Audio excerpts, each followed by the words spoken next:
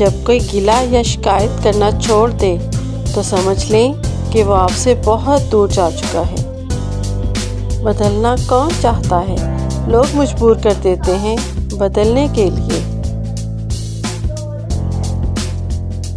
कभी कभी मीठी गुफ्तगु करके लोग आपको इज़्ज़त नहीं, धोखा दे रहे होते हैं।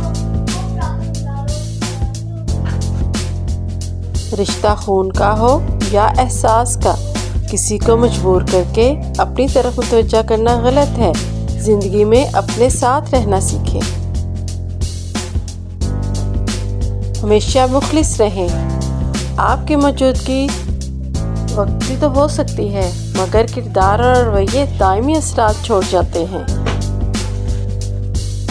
हर दोस्त आपका खैर ख्वाह नहीं होता।